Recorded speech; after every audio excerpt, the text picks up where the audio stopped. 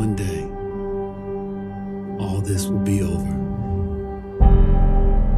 The war to end all wars will be won by one side or the other.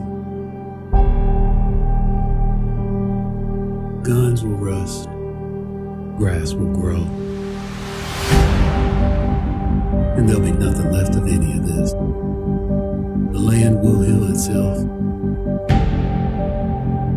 We'll be long gone by then, but maybe not forgotten. The future will be filled with stories of who we were and what we did. How we lived, how we fought, and how we died. When this is all over and the war is won, they will remember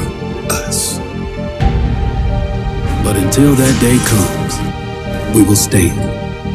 We will look death in the eye. And we will fight.